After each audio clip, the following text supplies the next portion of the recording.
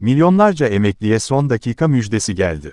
TBMM tarafından meclise sunulan kanun teklifi ile evi olmayan emeklilere kira yardımı ödenmesi talep edildi.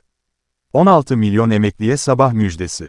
TBMM'den yeni müjde emeklilere 11.335 TL kira yardımı milyonlarca emeklinin beklemiş olduğu Ocak zammı için ilk veri TÜİK tarafından açıklanmış, son 6 aylık enflasyon farkı üzerinden emeklilere %37,50 oranında zam gelmişti.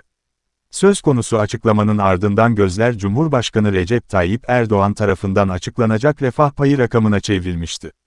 Kabine toplantısının ardından Cumhurbaşkanı Erdoğan yapmış olduğu açıklama ile %5 ek zam verileceğini ifade ederek zam oranını %42,50 olarak revize etmişti.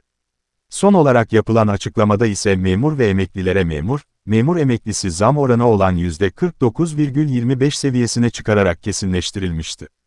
Sosyal Sigortalar ve Genel Sağlık Sigortası Kanunu'nda değişiklik yapılması hakkında kanun teklifi.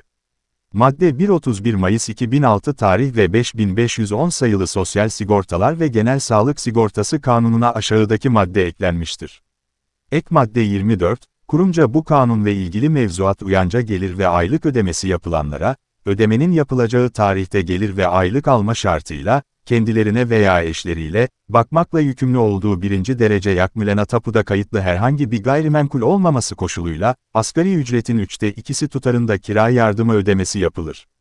Bu madde kapsamında yapılacak kira yardımı ödemelerini karşılamak amacıyla gerekli olan tutar hazinece kuruma ödenir.